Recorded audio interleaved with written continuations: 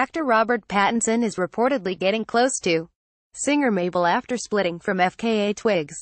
The Twilight star called an end to his engagement with musician Twigs in October 17 after a three-year relationship, and it appears he has since moved on, with rumors suggesting he now has his eyes set on Mabel, the daughter of musicians Neneh Cherry and Cameron McVey. Sources tell the Mirror newspaper the alleged lovebirds were practically inseparable during London Fashion Week last month, Feb 18, and appeared enamored with each other as they circulated high-end parties together. Rob looked smitten with Mabel and they spent two nights glued to each other, an insider informs the publication. They were practically inseparable at the Vogue party at Annabel's nightclub, and again the following night at a Miu Miu fashion party where Rob was trying to be really low-key.